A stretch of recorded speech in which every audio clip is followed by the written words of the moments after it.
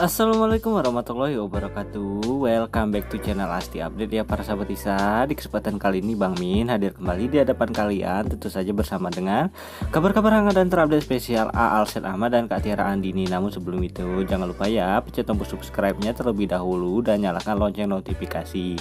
Supaya kalian semua tentunya tidak ketinggalan updatean-updatean terhangat lainnya dari channel ini Channel Asti Update tentunya. Oke nih para sahabat Isa langsung saja kita meluncur ke kabar-kabar hangatnya di kesempatan siang hari ini check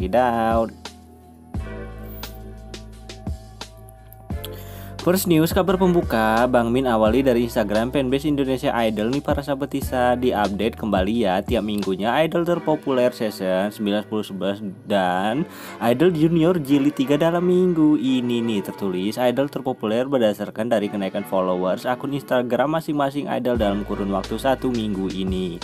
Konten ini akan selalu selalu akan selalu update setiap minggunya pada hari Sabtu. Siapa nih idol favoritmu? Mari kita lihat datanya ya para sahabat Tisa untuk kategori idol populer versi Instagram fanbase Indonesia Idol nih sama seperti di minggu sebelumnya ya para sahabat Tisat Nomor satu untuk idol terpopuler minggu ini versi Instagram fanbase Indonesia Idol. Masih dipegang oleh Kamahalini Raharjani Dan kembali diikuti oleh mamanya Selen Berada di posisi kedua minggu keempat bulan Mei 2022 ini. Yang mengalami perubahan tentu saja di nomor tiga Jika kemarin ada Kazifa Magnolia Namun minggu ketiga minggu keempat ini Nomor tiganya sudah berubah menjadi Kaliodra Ginting nih para sahabat yang menjadi posisi ketiganya. Dan untuk posisi 1 2 tidak berubah sama sekali ya. Nomor satu masih diisi oleh Kamahalini Raharjan dan nomor 2 tentu saja Mbak Merin kita Katiara Andini. Ini para sahabat Isa jadi minggu ini yang memiliki kenaikan jumlah follower Instagram terbanyak masih dipegang oleh Kamahalini Raharja ya sebanyak 35.487 follower sedangkan mamanya Selen sebanyak 22.262 nih follow penambahan followersnya on Instagram minggu keempat bulan Mei ini untuk kategori idol terpopuler versi fanbase Indonesia. Idol nih para sahabat Isa Bismillah. Untuk minggu depan untuk bulan depan maksud Bang Min ya bulan Juninya bulan satunya kita awali dengan Katia Randi ini menjadi idol terpopuler versi Instagram fanbase Indonesia. Idol nih Hayo nih para sahabat Isat yang belum follow Instagram Katia Randi nih para viewers channel Asti Update langsung follow ya terlebih dahulu nih para sahabat Isat tentunya kita lanjutkan ke kabar nomor 2 mengenai acara off airnya Katiara Andini di kota Padang. Nih para sahabat Isar Bang Min akan memberikan updateannya ya di kabar nomor 2 Kita awali dari updatean sang manajer Kaniko Karisma nih yang sudah pulang dari umroh para sahabat Isar Jadi Bang Niko Karisma sudah bisa menemani Katiara Andini di berbagai macam kesempatannya ya Baik itu acara-acara off air, on air maupun kesempatan ke, maupun untuk syuting-syuting produk iklan, syuting film dan lain-lainnya nih ya para sahabat sahabat Isa yang pastinya. Kaniko Karisma sudah tidak disibukkan lagi ya dengan urusan-urusannya waktu itu yang dia sedang umroh nih para sahabat Isa jadi Bang Niko bisa setia menemani Katia Andini di panggung dunia entertainment Indonesia tentunya. Dan jika diputar oleh Bang Niko Karisma terlihat di situ ada Mama Yosi bersama dengan Kak Titi nih ya para sahabat Isat Kak Titi yang menggunakan topi berwarna hitam tersebut nih jika kita perhatikan mamanya Selen selalu fokus menghadap ke arah handphone ya. Mamanya Selen dipastikan nih selalu mengabari Mas Pawang Di mana pun dan kapan pun posisinya baik itu di dalam pesawat maupun di tempat-tempat lainnya selalu mengabari Mas Pawang ya. Wow. Memang benar-benar couple bucin kita ini nih para sahabat Isa tidak bisa sedetik sedetik pun saling melupakan satu sama lainnya ya Ini adalah update dari Kak Fadli nih. Kak Fadli tentu saja ikut ya para sahabat Isat Berdasarkan apa yang dapat Bang Min update di kesempatan sebelumnya. Masih di channel Asti Update tentunya. Melalui cuitannya Kak Fadli mengatakan bahwa mereka akan take off pukul 2.30 Namun mereka take off baru sekitar pukul jam 6 pagi. Tadi ya para sahabat Isat Terlihat di situ. Ada Kak Titi bersama dengan Mama Yosi ini berada di Bandara Internasional Soekarno-Hatta tentunya mereka akan flight menuju ke kota Padang. Pantauan terbaru dari Bang Min, tampaknya rombongan dari Katira Andini bersama dengan Mama Yosi, Bang Niko Karisma dan juga Kak Pauzi Padli beserta yang lainnya sudah landing ya di bandara yang ada di kota Padang nih para sahabat.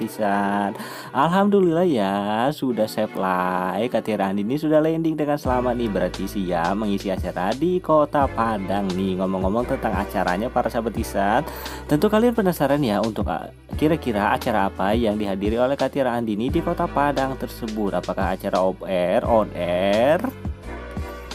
Untuk acara yang dihadiri oleh Katiara Andini dan Katiara Andini tentu saja dipastikan menyanyinya di acara tersebut.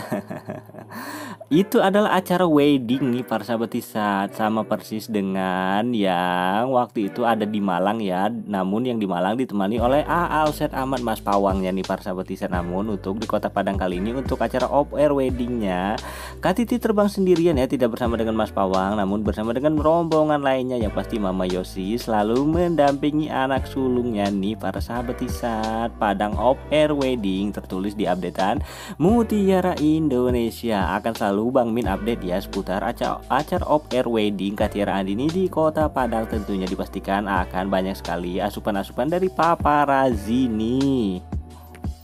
Ke kabar terakhir last news kita ke Instagram ba Instagram Bajo Resort nih para sahabat Tisa. Jika kita perhatikan di situ ada Papa Set bersama dengan Kak Titi nih para sahabat Tisa ada juga Olel dan juga Papa Dedi nih. Jika kita lihat outfitnya ini adalah mereka pada saat berada di Telaga Sarangan untuk berlibur di momen Idul Fitri nih para sahabat Tisat ya berdasarkan apa yang Bang Min amati dari outfit-outfit yang digunakan oleh Kak Titi bersama dengan A Alsat, Olel dan juga Papa Dedi nih dipastikan ini adalah pada saat mereka mengunjungi suatu resort di da, di tela, di sekitaran Telaga Sarangan.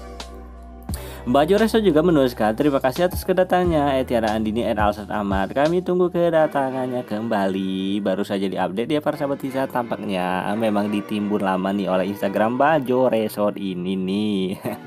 Bisa jadi ini adalah tempat Kak Titi bersama dengan Papa Syat menginap ya bersama dengan rombongan Papa Dedi dan Mama Yosi beserta yang lainnya. Dan update terakhir kita masuk ke Instagram Tiara Usagi nih para sahabat Tisa di situ.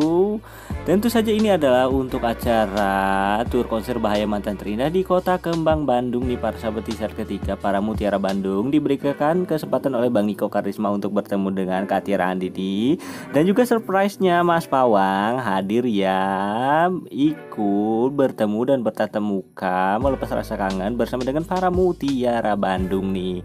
Ada kejadian unik nih para sahabat Isan Mari Bang Min tampilkan spesial untuk kalian semua ya. Ya video.